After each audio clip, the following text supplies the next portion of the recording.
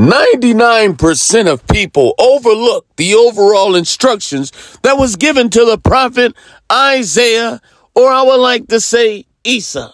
One of Allah's 99 names is Al Hadi, the guider, and Al Mudill, the misguider.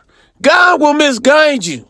God wants to destroy people by misguiding them. Okay. So I encourage you to reread the gospels and you will see that prophet Isa, he was a misguider. He was misguiding all those whom Allah wanted him to misguide.